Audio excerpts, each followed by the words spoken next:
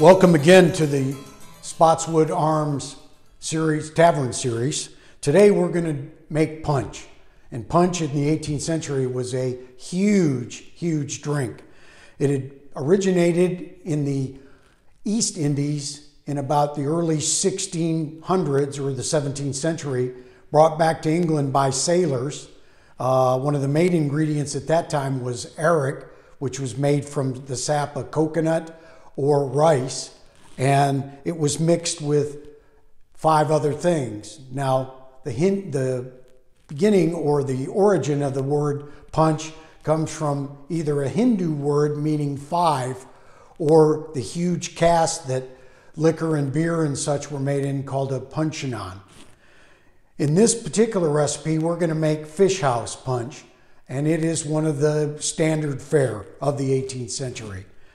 The five ingredients in the Spotswood Arms Fish House Punch are liquor, sugar water or a syrup, lime juice,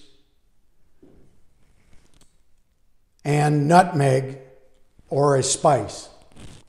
And with these all combined, we have our fish house. So without further ado, let's make some punch. First thing we're going to do is we're going to add some light rum.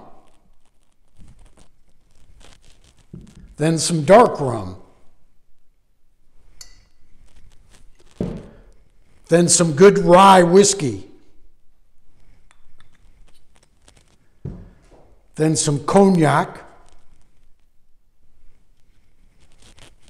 Next, I've already made up some simple sugar syrup.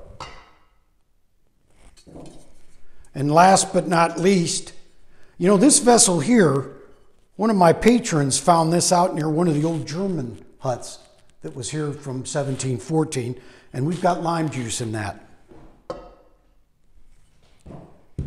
All right, and we mix it all up.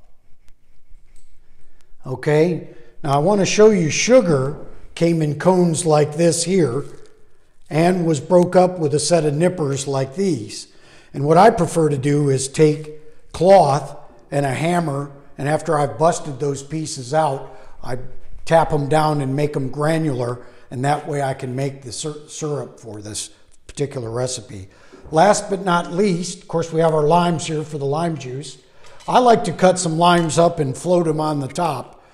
Uh, and last but not least is the colonial gentleman's or gentle lady's companion, ground nutmeg. And you just simply ground some of that in. And there is the punch. Now, in the 18th century, punch bowls, and you see several here, are kind of all different shapes and sizes, some getting into a couple of gallons. This one in particular is one of my personal favorites. It's drink and be merry. And this is pretty much a individual one. Now, one thing that you're not going to see in the 18th century is a matter of pouring this out or ladling it out. Most people would pick up the punch bowl itself and drink from the punch bowl itself.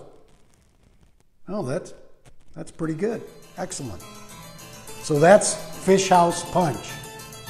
Thank you.